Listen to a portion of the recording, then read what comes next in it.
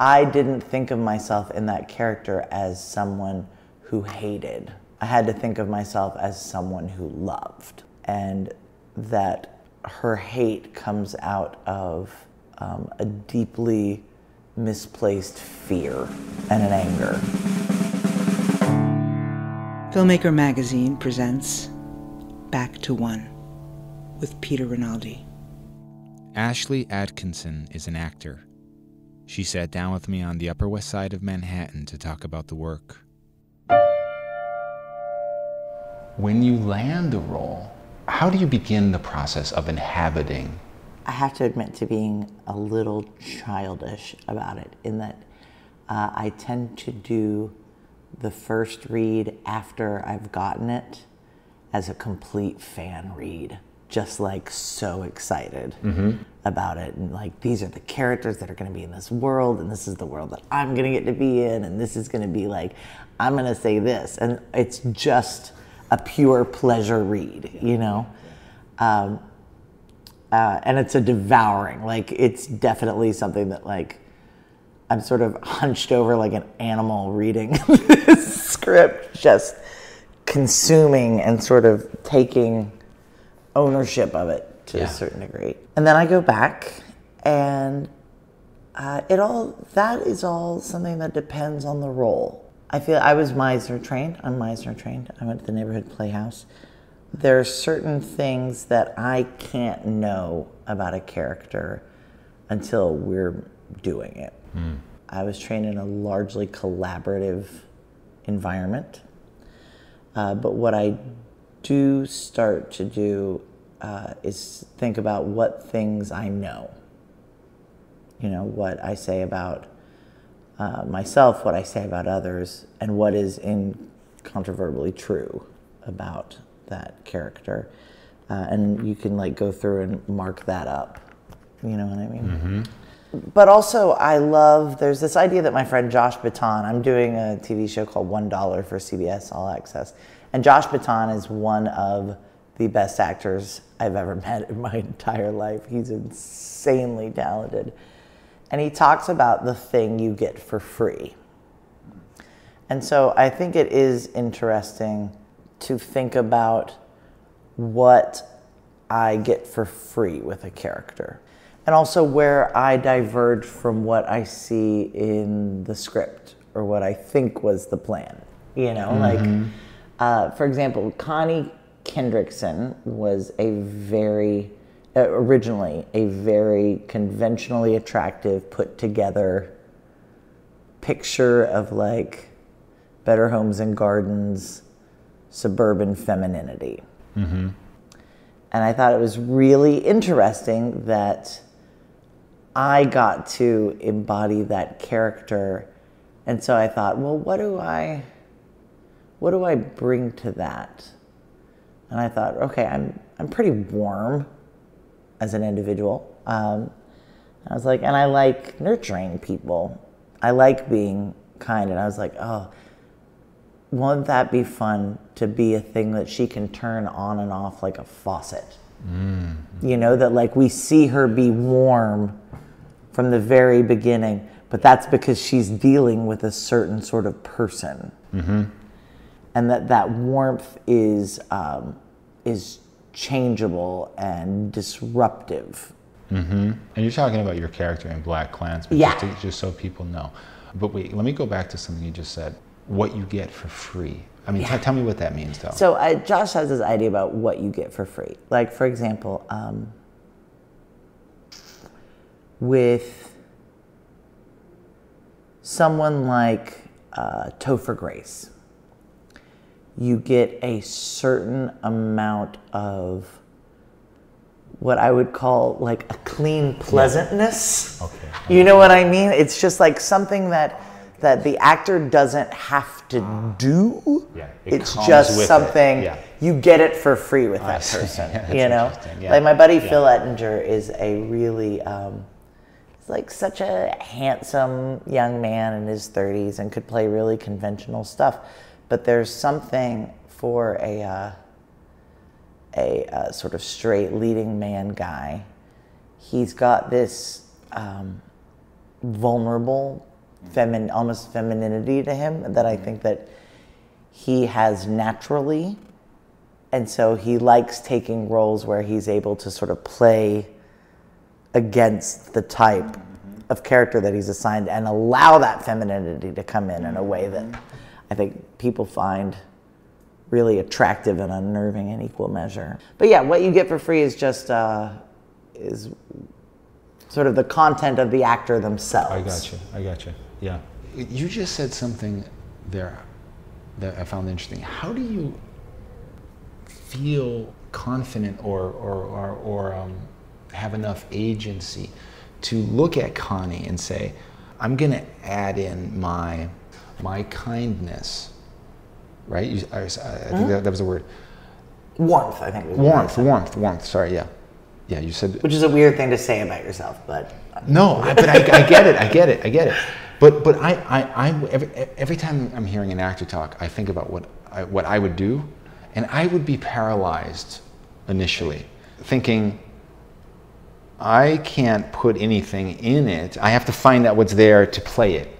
Mm-hmm. You, do you know what I mean? Mm-hmm. But that's going to that leads to a wall, perhaps. sure. So the question is this. Where does that confidence come from? Or that, that ability to, to, to mold the, the part in that way? And to add that in because i saw that. I saw what you're talking about in the performance.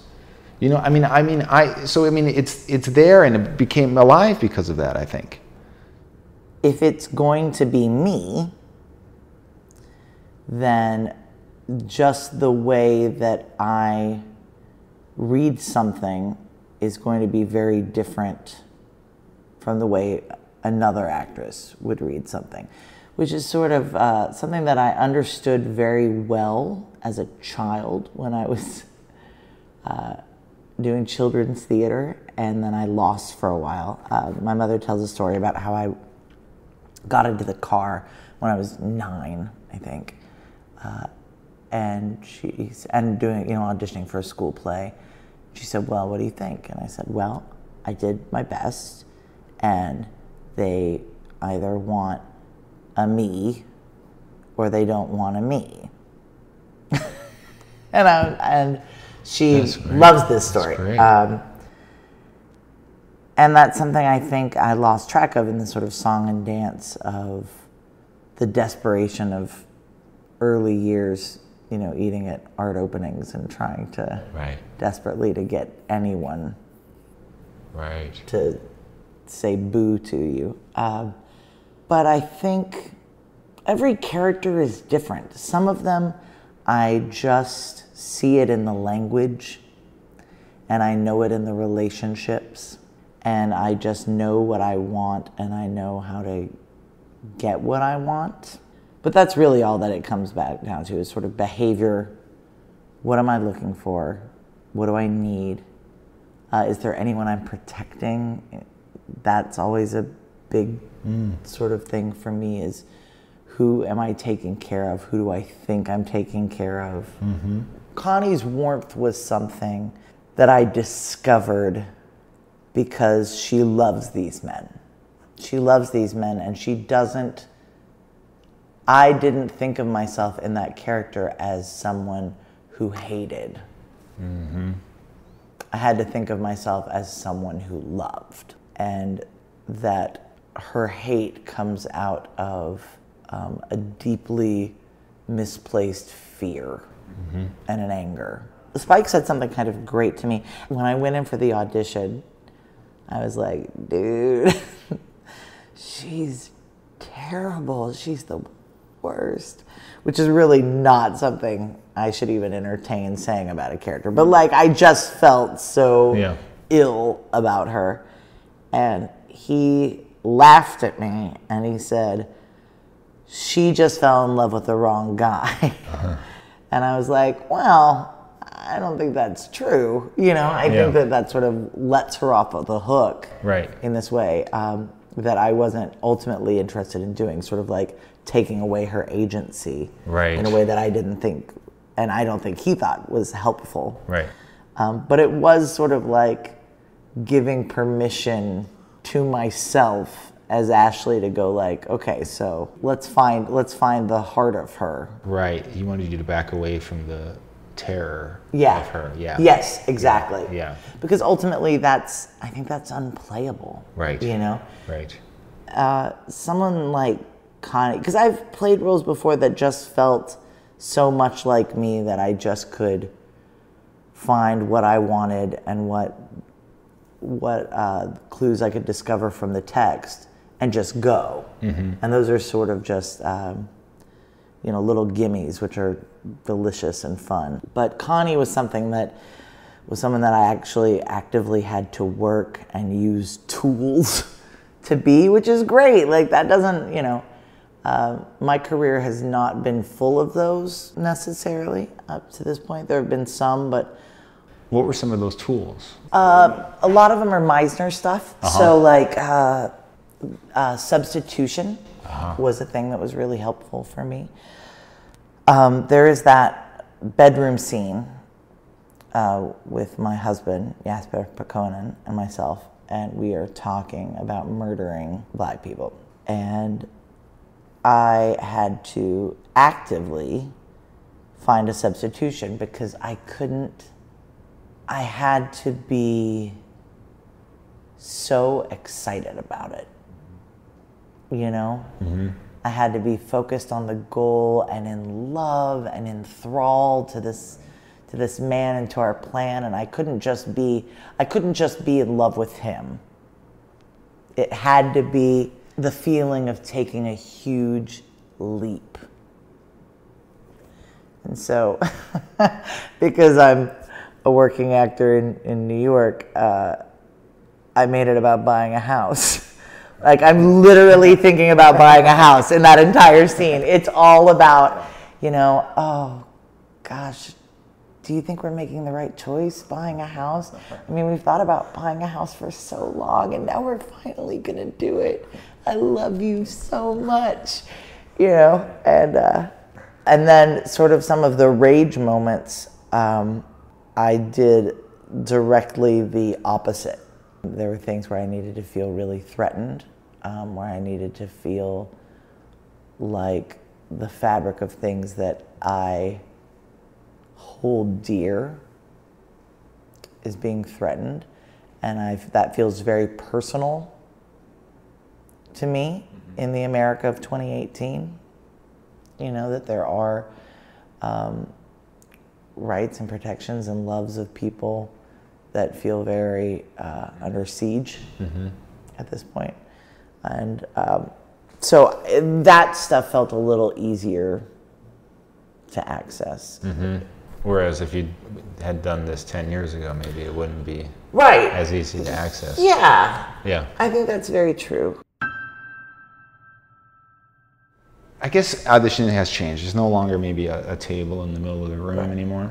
No, I like the table in the You middle of the do. room. I'm going to take a guess and say you're a master at auditioning. I enjoy auditioning. I, I sensed it. I think this is what I meant. I wouldn't don't say I have mastered it. I don't Yeah. even know what that looks like, I right? I but like, I do Yeah. like it.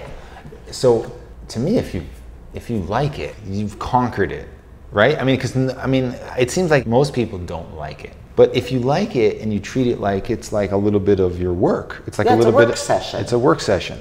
That's that's more than half the, the battle probably for for it, right? I mean, Yeah, I think so. I, I you know, Philip Seymour Hoffman, uh, God rest his soul, said a wonderful thing that I always sort of keep in mind, which is any day that you are acting in a room that you didn't pay for is a good one. And so uh, I've started to, and this has been a process. Um, I've started to come into rooms to work as opposed to be tested. Yes. And that feels really good because I can relax. I can meet someone on the ground as an equal, and we're both just trying to solve this puzzle together, you know, and we're both just trying to unlock something. And there are directors that are great about meeting you in that space mm. you know i've had some really really great directors because far from mastering auditions, I have definitely um, really screwed the pooch on some of them and then been allowed to keep working until something unlocks. And like that's a huge gift. I was just thinking about uh, I did a play that Cynthia Nixon directed two years ago, and it was one of those scenes where these two characters are just sort of um, talking about what seems like really innocuous stuff, and then my character bursts into tears like a torrent of of uncontainable tears. Um, and I just didn't get there. I said it was a real swing and a miss, you know. And I'm not going to fake cry in a Yeah. room. That just seems like the most horrific, degrading thing to do in an audition room is to fake cry. Um, but she, of course, as an actor, was like, "Oh, okay." It was. She treated it as if it wasn't a failing of mine, but uh, something to attack and go, okay, so how do we give you the runway to make that happen? Yeah. Which is great because then you go like, oh, it's not me. I'm not a terrible actor that should have her card revoked and That's such be a great analogy down. too. It's like the runway was too short. Yeah. It wasn't the plane. Right. Yeah, exactly. Exactly. That's so cool. The plane is functioning perfectly Yeah. fine. You just you're functioning like a like a human. We're just not giving you what you need for that humanness. And it really just sort of and then you become active in solving it Yeah. together and it's such a relief to not feel like a failure in that moment, you know. Um, and then we ended up working together. I ended up getting that gig and we did that play and it was really fun. And that moment felt really good because we figured out how to solve it. And do you think that that was like? There's no way for you to know this, but do you think that that was the way she works with everyone, or did, or did she see something in you that she knew that you could do it? Oh gosh, I don't know. Um, I think she's. Uh, I think it's probably more like how she is. I think she has a natural warmth and empathy towards people to the point where she could not give me a direction for this character who was dying of cancer. My character. I could not receive a direction from her for about three weeks without both of us just literally welling up with tears in the middle of this audition room. She'd like walk into the space and she'd be like, So, when you say this to him, why doesn't he know about this appointment already? Shouldn't he's your best friend? Shouldn't he have been there? And then we would both just be like, and then she'd go, okay. And then she'd like walk away and we'd do it again. It was incredible. But I love, I love directors that um, play for teams, you know? Yes. Uh, I think one of the things that both Craig Zobel and Spike Lee have in common is that they are great. JD, JD Washington called Spike recently a player's coach. And I think that is absolutely correct. And Craig Zobel is also a player's coach. Uh, when I did compliance with Craig, like six, seven years ago, I remember we had these early rehearsals with Dreama Walker and Ann Dowd and myself, and it was just the three of us. And we walked in and we sat down, and Craig said, and I mean, balls of this, he said, I don't know if this is possible. Right. He said, I wrote it, but I don't actually know if it's possible. I don't know if we can actually go from A to B to C to D to E to what they actually did. That's so interesting that he said that. Yeah. Because I think that movie's a miracle movie. It, I mean, you guys all performed a miracle. I mean, Ann Dowd, like, that was a master class. Yes. Yes. Watching her work Yeah. was one of the most extraordinary experiences I've ever had on a set. Was that your initial, the beginning of your relationship with Craig? Now, now, Yes. now you're in this new show. Mm-hmm. Is he and he's directing it, right? I mean, Yeah. He got you into this, or was it? Yeah, yeah, he's directing all 10 episodes. Uh, yeah, compliance, I just came in. I knew Homestar Runner, which he had had a part in, uh, that comic. And so I came in and I really thought, once again, I thought I flubbed that audition. Like I was sort of feeling um, low energy that day, and I went in and I remember very clearly calling my manager at the time. I was also young, like I was 31 years old, I guess. Um, and I said, uh, I know.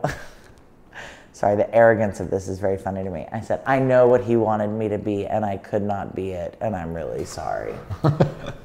Which is so ridiculous. First of all, the idea that you would know what someone else needs from you, it's just whatever. Um, but I did, and I felt very strongly about like the fact that I had failed it, and I had just, you know, and he thinks that's very funny. Um, so I worked with him on compliance, and then he just sort of this job happened. He started doing this show for CBS All Access, and they were sort of creating this world.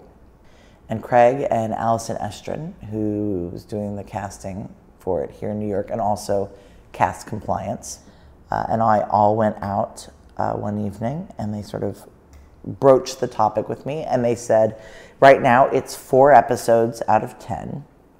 Uh, it's not a series regular. It's it's recurring. It's four out of ten. But I don't know. I and Craig said, but I don't know. We keep seeming to write more for her. She just becomes more and more. And he's like, and I'm really excited about you playing this. And so these four episodes that Craig initially pitched me on, I think we're entering episode nine now, and I know uh, that that's an episode I'm in, and I'm pretty sure I'm also in episode 10, which will then bring the total to nine out of 10 episodes That's cool. That's that I have uh, a role in. And it's been really, really, really fun. Also, we're in Pittsburgh, so we get to uh, be in that space and we're all creating this family. It's a really great group of people, like just That's cool. a really great group. And Craig's uh, exceptional at bringing together this sort of troop feeling. Yeah. So there was no audition. There was no. I didn't go to CBS. I didn't test. I didn't do any of that. Isn't I that just nice? got to join. It's nice and terrifying. Um, Tell me what you mean by that. well, it's it's nice uh, because you feel very free and very valued, you know, and it feels great and collaborative, like you're just going with your friends to make a thing. Um, it can be scary if you allow um, that inner critic to ever take hold because it's very easy. I hate to even talk about it, but it's very easy to go down that road of like, oh God, he must have remembered thought I was a better actor than I actually am, and he thought I was right for this thing, and I'm not. You know, like you you can allow those demons to sort of get a hold of you if you let them. So you have to be pretty vigilant about that sort of thing. And maybe they wouldn't be there if you proved yourself in an audition. Yeah, because like you know, especially if you're doing a smaller role, um, what you show them in the audition, in something like television that moves very quickly, uh, what you show them in the audition is what they want to see, in the callback is what they want to see when you walk onto set. Unless you're having a conversation already about those things being different, you've already shown them what your take is. Right. And so you kind of need to go and deliver that. The other thing I saw you in was F to Seventh. Oh, yeah. Because I saw Women Who Kill last year. Uh, and then Ingrid I was a like blown away. And then I just went, went and saw all this. And yeah. She's so smart. But that's my kind of comedy, you know, like that. I guess my question is are you ever asked to do something or you get a script and you can kind of see what it's going for, but it's not. It's not new comedy. It's like old comedy, or it's like, do you know what I mean? And and so you're like, so is there a, this battle in you? Like, um, I guess I got to give them that because, but it's not that funny. I don't do those jobs. Because a lot of it also, like, if it's old comedy, the place that they've carved out for me in it is not a good spot. You know what Mm. Yeah, I mean? Like, yeah. if it's, um, you know, uh, I've been asked to be one of the girls in a montage of bad blind date door slams. Right, you know right, what I right, mean? And I feel like that's where that goes. The, Yeah. the space that I can occupy in comedy that punches down is um, not anything I'm really interested in doing. Yeah, yeah. Uh, F to seventh was really fun. I- Ingrid is so smart. Uh, she sort of pitched me on this idea. I met her at an NYU thing, and uh, because I'd been working with another uh, director named Erin Greenwell on a movie called My Best Day uh, that went to Sundance. Uh, and so I met Ingrid, and we were talking about this idea she had about being uh, what she fondly called an aging lesbian. And like, what does that mean in this sort of new, sort of uh, spectrum based identity view? In someone who had found a lot of comfort in a binary, what happens, you know? Yeah. And so she pitched me this character, and she started talking about the episode where we go to a party thrown um, by an individual who's trans. Yeah, yeah. And I said, Oh, God, no, I think like the trans community needs our support. I don't think they need me saying idiotic stuff about them. And she said, and so, so rightly, she said, Oh, Ashlie, no one's gonna think you're right. Like, that's not who this character is. right. You're an ass. And I was like, Oh, yeah, okay. And so once that happened, that I was, um, that I lose every interaction, that I'm never the smartest person in the room, and these characters, it's really fun to do. Um, What about when you're opposite somebody who isn't getting what you're doing, comedy wise, whether it's improv or just not placing the things so you can hit it right? uh, I've never really felt responsible for anyone else's work like that. And I've never felt an obligation more to the joke than to the honest response of what I'm getting in the room. You know what I mean? Like, uh, the joke is not the joke. Uh, what matters is what am I getting from this person and how do I that we talk about the pinch and the ouch in Meisner. So what is the pinch and what is my ouch? You know, and if the joke ends up getting left in the dust because of that pinch and that ouch, then either um, we need to go back and work Adjust the pinch. yeah, adjust the pinch, adjust the ouch, but that's not my job to Right, do. You know what I mean? right. I'm because God knows I'm not trying to put my my objectives above anyone else like in actor brain trying to accomplish their objectives. Right. I think the conflict and the tension and the getting a, a pinch that you don't expect that isn't the pinch you wanted is actually a huge gift. It makes you like have to live in that tension of like Yeah. of like ill-fitting shoes, you know, of like Right. no, but I didn't. No, you know, and sometimes I think that's a delicious thing to happen. Is there something you can do or want to do that people don't know you can do in this business? Yeah, I mean, um, I'm at a point where I'm really interested in uh, telling stories. It's starting to um, help develop stories that I'm really interested in. Um, I have three things that are uh, sort of three treatments that I've uh, tasked myself with pitching at least 12 times before the end of the year. um, to our films. One is a pilot. Uh, I've written plays a lot. I've had plays uh, performed and put up, produced. Um, to take that, to get over the intimidation of the camera uh, and say, and as I've gone along and, and become more familiar with the technical aspects of that, to say, okay, I can do this. I was sort of residing in play world because I understood the mechanics of it.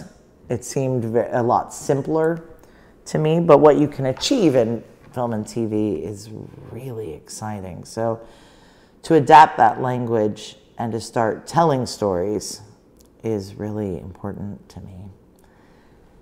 And that's, I think, sort of the next step. I also think that we're in a really interesting time where someone like me 20 years ago really had to manage their expectations about what they were going to be allowed to do in this industry.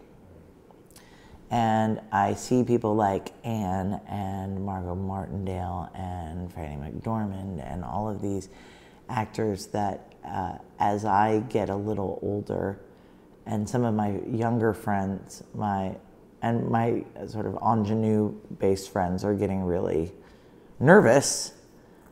I'm getting to a place where I'm getting to do more and more and more and deeper and more interesting and intimate characters. And I just feel like there's a trajectory that I'm really excited about and that I have options. It will be a really nice side effect, um, and I do mean side effect, of uh, BlacKkKlansman if the opportunities I get become more nuanced, or that I find myself in a position where I can create opportunities for myself and for other people, and thereby amplify their experience. Ashlie Atkinson, thank you so Thank much you. for this. It was a real pleasure. Really appreciate this. Back to One is a production of Filmmaker Magazine, which is a publication of IFP, the Independent Filmmaker Project.